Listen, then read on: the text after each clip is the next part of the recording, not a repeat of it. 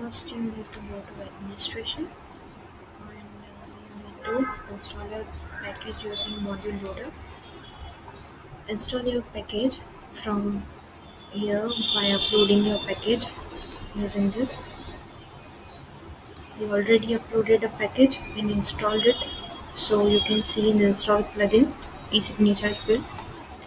Now what you need to do is you need to go to administration and the configuration section of e-signature. Uh, you can click on license configurations to uh, add license key. So uh, you need to add here your license key and validate it. After validating, the plugin will be activated for your system. Uh, how to check the plugin is working or not? This is actually a custom custom field type. So you can go to Studio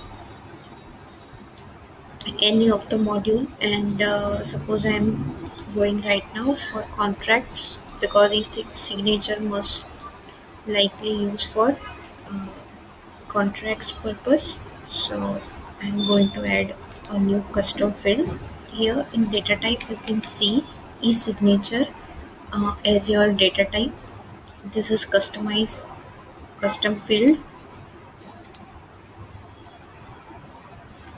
so I already created a field using the signature so you can see here. This is e-signature field with customer signature name. Let's check in layouts. I added that field in uh, edit view with customer signature after customer signed it. Same for the detail view. Let's move to contracts in contract I have created a contract. Here you can see the customer signature field. I just need to add the signature here.